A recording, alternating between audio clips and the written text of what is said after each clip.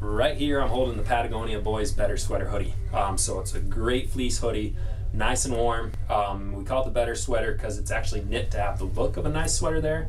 So a little bit of heathering, um, which looks great, but then also um, with the knit on the exterior makes it durable. So it's going to hold up to a lot of abuse. It's not going to pill, kind of like your traditional fleece might. Um, but still on the inside, it's a nice, super soft fleece. Your little guy's definitely want to pull this one on. Super comfortable, super warm. Um, the hood itself is contoured, so a really nice fit. It's going to stay on when it's nasty out, keep them warm. Little hand warmer pockets, and uh, just a great all around fleece jacket.